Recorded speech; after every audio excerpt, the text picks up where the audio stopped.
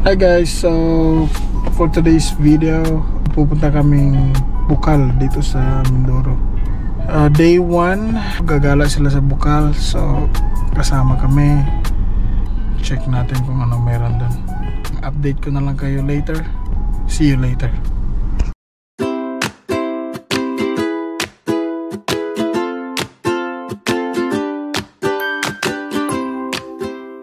Lalayo pa. Bakit nakapunta ka na ba doon? Siyempre, ano niya yung tito niya yun eh. pinaka nila. Doon din yung si nanay, di ba? Doon banda yung kala nanay. Sino nanay? Si nanay na nasa ospital. Ah, Yan sila dati, kaya lang bumagyo nga na tumba nga yung bahay nila doon. pero passable naman. Hmm? Passable sa mga sasakyan. Ay, itong sasakyan natin hindi. Kasi mataas di ba yung minsan may lubak doon? Ah, okay na? May shortcut dun sa kapila. Ah, okay. Mas maganda yung daan ko sa Mendo. Kasi ito, kaya pinataasan ni Kuya yan eh. Then may rough road. Kasi ano, bako yung ano. Kaya gumagano kami. "Oh." Dito papunta tong Kalapan. Oo. Ah, Kita yung daan yun, di ba tayo? Paakyat ng bundok. Hindi ko lang sure Kita yung yung ano. Di ba say? Kasi nung nagkalaban kami, gabi din kasi yun. Hindi ko ano. ah bali tatawid dyan sa bundok. Oo. Ah, tatawid Aakyat pa. ka dyan. Ah, Ganda okay. ng daan dyan. Kaya lang ah, medyo nakakatakot din motorin. Pag ano, pag gabi no? Oo. Dapat sanay na sanay ka dyan mag-ride. Pag dyan ka dadaan. Ah, parang Tagaytay din Talisay, mahal. Pag ganun, ganun. Oo, parang Maganda nga lang dyan. Kasi sobrang tarik. Maganda rin yung view. Oo, motor. Kasi motor. This time, papasok na kami papuntang Bukal. May unting lubak na daan pero manageable naman. I guess nasa 10 to 15 kilometers ang layo ng lugar na to from San Jose proper. Ah, hindi uso ang traffic kaya in less than 30 minutes, nandun ka na.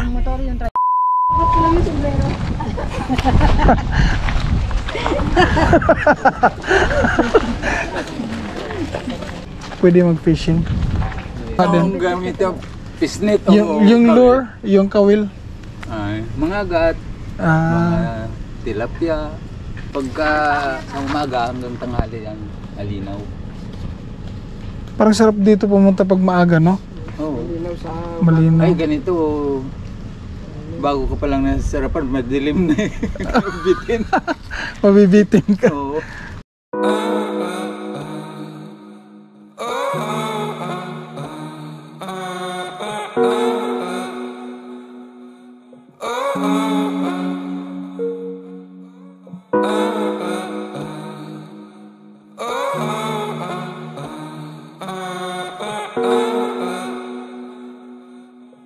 Oh.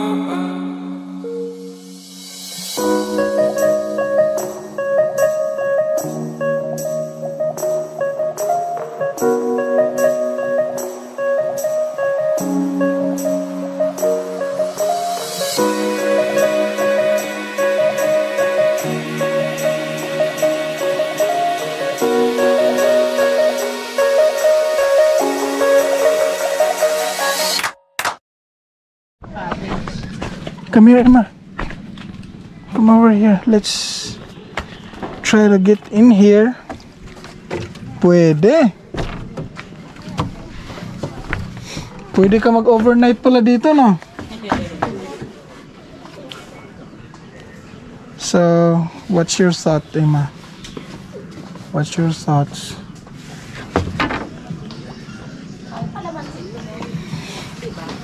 Ten pesos. La, careful, careful. There are crocodiles here. Oh, there's a fish. Yeah. Come here. Over there, oh. Over there. Did you see it? Yeah. Over there, oh. Oh, look at that. We cannot go there. Oh, look at that over there. There's a lot of fish.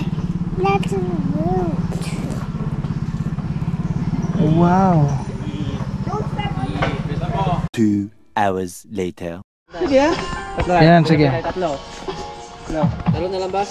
Sige, sige. Tara.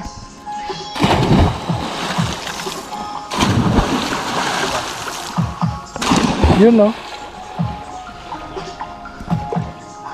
Ayos.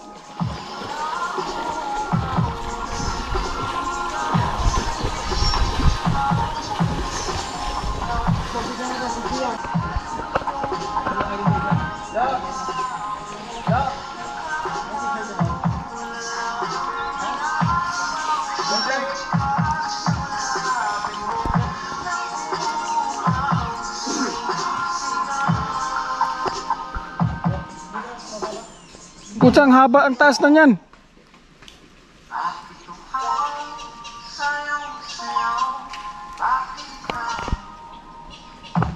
Ang taas na niyan, pre.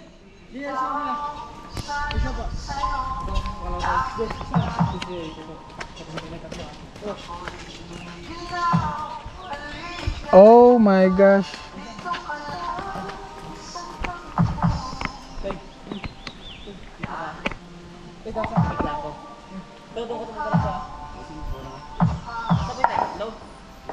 Bilang ko. Grabe. Uno. Dos. Tres. Oh shit! Woo! Yes! Ayos, ayos pre. Puta. Ayos ah. Malalim pala yan dyan? Malalim po. Malalim po yan. Ah, kaya pala putsa parang, parang limang story na yan ah. No, minsan yan nagkatalon nyo. Nice one, nice one. Anong name mo pre? Anong frame? Christian po. Christian. Christian po. Christian? Sunday po, Sunday. Sandy. Sama ko to sa video ha. Sige po. Sige. Salamat niya. Eh, good, good to see you, good to see you. Okay, thank you.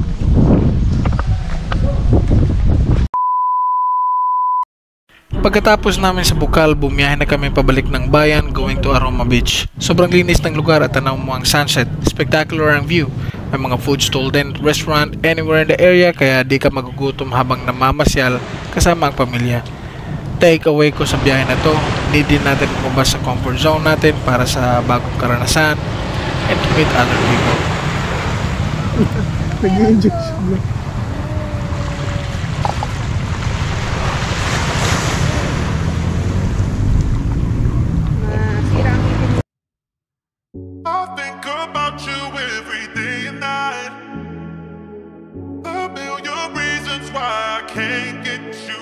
My mind. I wish that I could just rewind the time.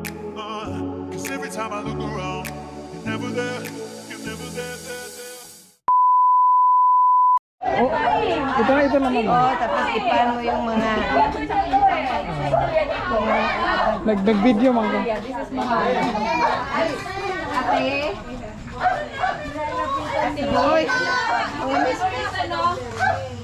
Hoy!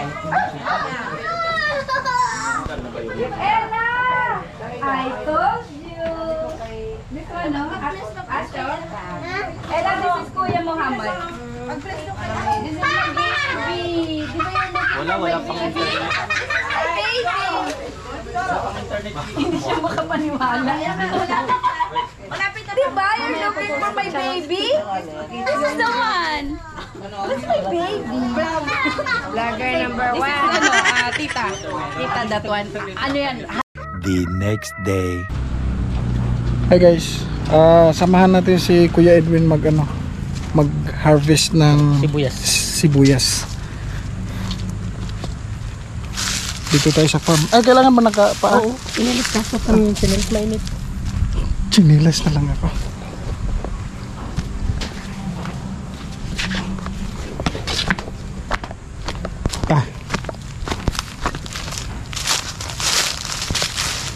Init no? Ano bang oras na ideal para mag-harvest ng sibuyas? Kamaga. Magang maga. Maghapon yan. Ah, ma- maghapon na pala yan. Hanggang sa matapos yung ano, harvest. Oo. Sibuyas muna. Maga magputo. So yan yung unang ano. Oo. Nakalitaw lang pala no? Nalitaw lang siya. Ayun, ano Dali na mga pulot. Mm. Yan, yan, yan. Huwag na yan dyan. Be- oh, dito, Yan, kasama yan, kasama yan. Ay, doon. Wag doon sa may tubig. Ay, oo nga pala. Pwede pala. Sige. Yan, yun yung nabunutan na yun. Yan, yan. Di ba ito yung ginagawang onion soup? Hindi daw. Ay, hindi. Iba daw yun. Meron daw talagang variety ng ganun.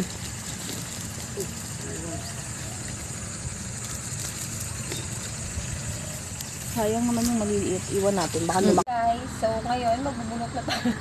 Ay, magbubunot, magugupit pala ng dahon ng sibuyas. Para, so ganito siya, binalatan eh. Hanggang dito lang ito, di ba?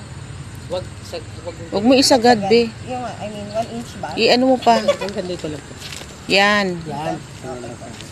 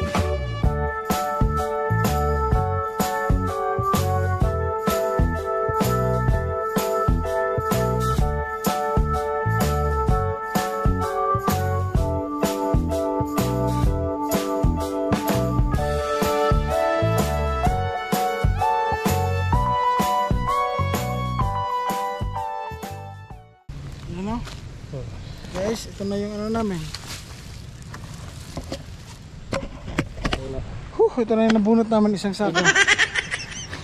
Pag may dikit sa damit mo, mga damit mo. ah, mga Yung sibuya. Ayun, kunin ko yung ano. ano?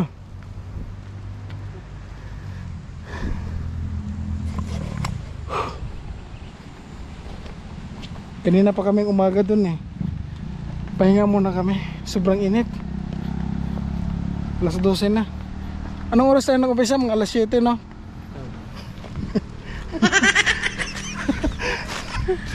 Kaya sali natin dito. Oh. Para ah, unang nabulong.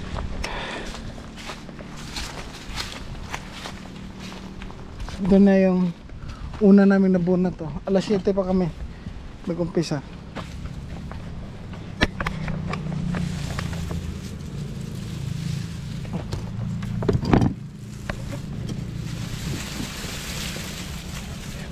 Yan yung isang sako na kulang pa yan. Kulang pa to.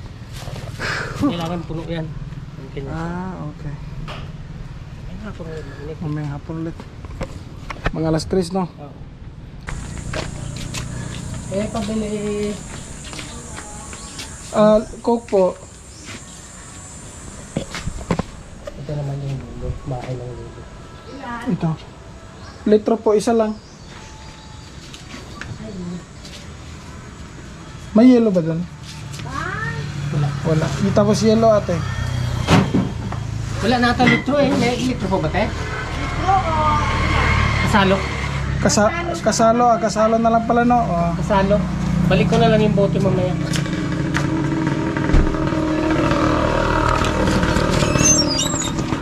Tapos yellow. Ilan po? Apat. Apat? Mm.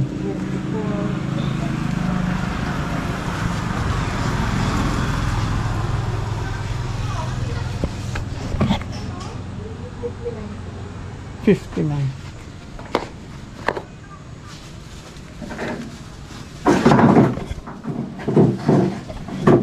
May yelo po ba doon?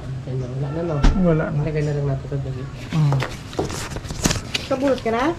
Wala pa. Nagbunot lang kami ng iuwi nila.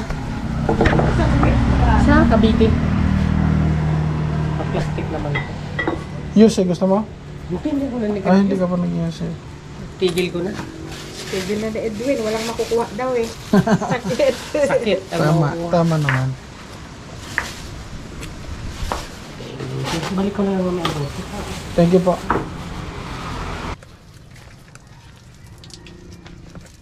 Ay, sarap niyan.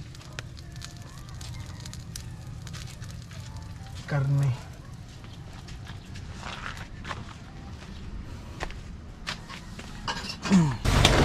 Hindi ka ba nagja-jacket pag ano? Pag pag, pag nag, nagtatrabaho ka? Jacket. Nagja-jacket ka? Yung mga sweatshirt. Ah. Uh, ito, sa'yo na to. Anong gagamitin?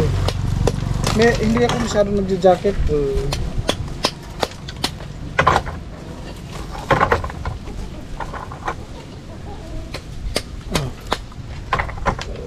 Mas gamit mo yan dito eh, kaysa sa akin doon eh. Malamig. Ay, maganda malamig. Manipis lang siya. Oo.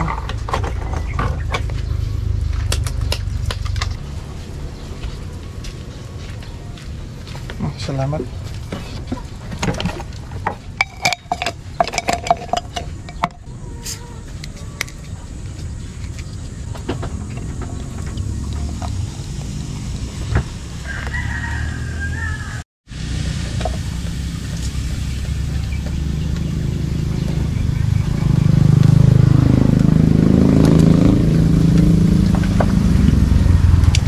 Para sa tanghali ba yan o mamaya hapon? Sabi, sabi nila tanggalin na to. Ah, tanghali. Ah, dito pala sila magtanghali. Oo.